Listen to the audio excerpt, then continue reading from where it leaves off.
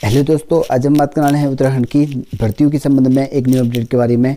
तो यहाँ पर देखिए दोस्तों, उत्तराखंड के जो सचिव हैं, आयोग के, उनके द्वारा यहाँ पर जो है सात हज़ार भर्तियों के संबंध में बात कही गई है।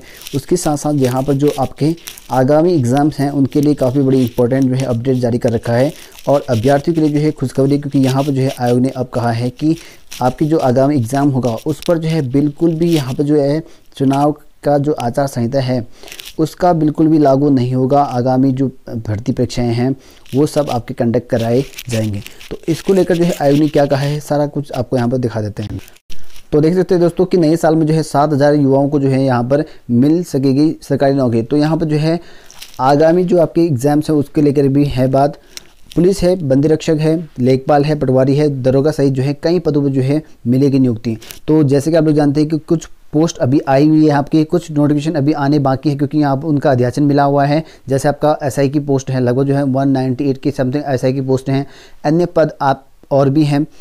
उन पदों पर जो है भर्ती निकालेंगे और किसी का अभी पेंडिंग में रिज़ल्ट है, उनका रिज़ल्ट भी निकालेंगे। तो लगभग जो है 2022 में आपको लगभग सात हज़ार पदों पर जो है, जो नियुक्तियाँ हैं, वो देने वाले हैं सरकार।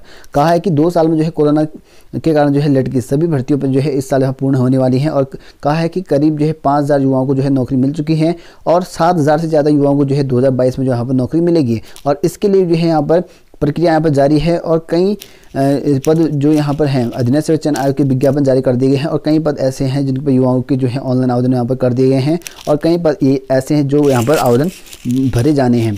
तो इनकी नई पोस्ट भी आपकी होनी है।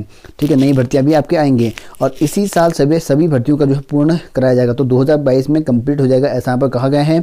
और लगभग जो है सात हज़ार युवाओं को जो है सरकारी नौकरी के लिए यहाँ पर नियुक्ति पत्र भी जारी कर देंगे। तो एलटी वाले जो यहाँ पर बंदरोगा वाले हैं, उनकी नियुक्ति पत्र इसी साल आपका यहाँ पर हो जाएगा। बाकी आपके पुलिस है, लेखपाल है, इनकी एग्ज़ाम भी आपका होगा।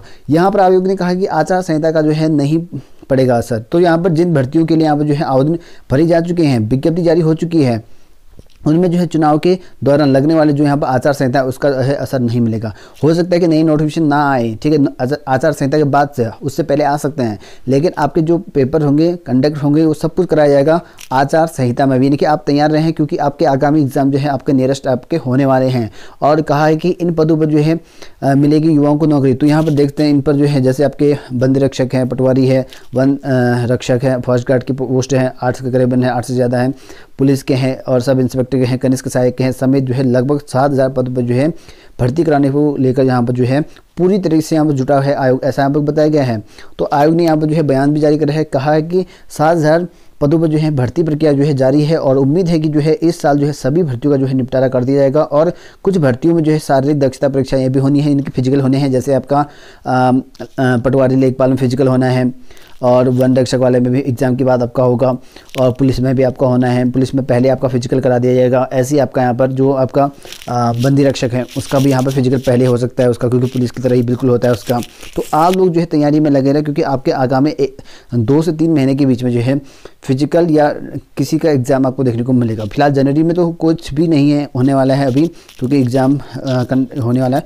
या हो सकता है कि मार्च, अप्रैल के बाद से आपके यहाँ पर पेपर की तैयारी जो रिटर्न एग्जामिनेशन वो है फ़िज़िकल है, वो आपका डेफिनेटली मिल जाए।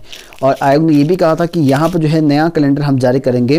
फ़िलहाल कुछ प्रॉब्लम चल रही है ऐसा यहाँ पर आयोग ने कहा क्योंकि हम पहले रिज़ल्ट निकाल रहे हैं पुराने वाले उसके बाद से नया रिज़ल्ट, नया जो यहाँ पर कैलेंडर है वो भी जारी कर दिया जाएगा। तो इस तरह के हैं जो कि आप लोग तैयारी कर सकते हैं, जो भी आपने फॉर्म फिल कर रखे हैं, क्योंकि आगामी ये परीक्षाएँ आपकी होनी है डेफिनेटली, और जल्दी आपके हो सकता है, और नोटिफिकेशन कुछ टाइम के बाद से आपको यहाँ पर नई नोटिफिकेशन नई भर्ती की जो पेपर के हैं, उसकी कैलेंडर है, और नियुक्तियाँ हैं रिज़ल्ट हैं, वो सब कुछ आपको यहाँ पर देखने को मिलेंगे।